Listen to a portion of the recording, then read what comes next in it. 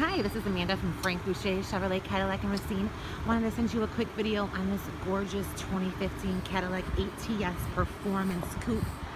It's actually the same as that car I drive. It's awesome, great pickup. This is the Performance Collection. It does have the all-wheel drive, the upgraded wheels. I look the 3.6. Can't get much better than that. Nicely equipped with the leather, heated seats, power of course. Bluetooth steering wheel controls, Cadillac CUE, and of course, the ever-loved sunroof.